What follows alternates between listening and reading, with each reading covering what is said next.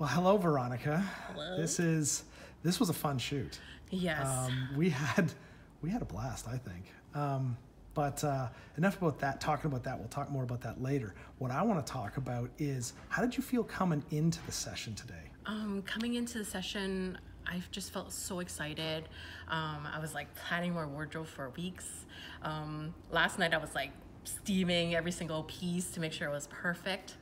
Um, and yeah, just um, I didn't really have a plan, but I knew Trevor had one, so That I did. um, but uh, yeah, like now, now after you've looked at the pictures, what's going through your mind now? Like, how do you feel relative to when you came in? my mind is blown. Um, the angles, the lighting, um, everything. It, it's I've never seen myself like look like that ever. Um, like I always saw myself as cute, but looking sultry and sexy. Um, I've never seen that side of me before, and that was amazing. Well, you definitely got that side. um, that's for sure. Um, and then, I mean, just d- describe the uh, the experience that we that we had here. Like, what what comes to mind? It was so fun, um, and it was just great collaborating, um, and it was great seeing you modeling. And so I'm good at that, right? Yeah.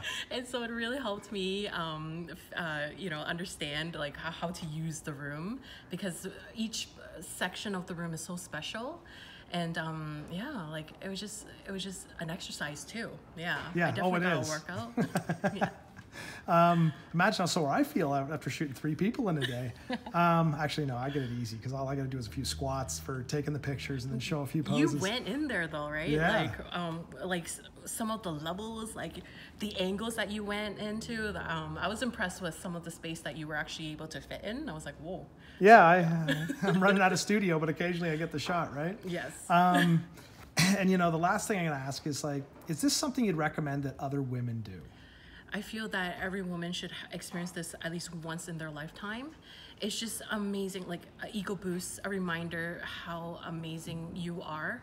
And um, sometimes we forget, especially living in this society where um, it's easier to cut people up uh, rather than give a compliment, right? Um, and just to, it, it, like every time I feel down now, I'm gonna be looking at those pictures and remembering like how fierce I am, you know, how confident and um, powerful I could be. Yes. Oh, you're powerful.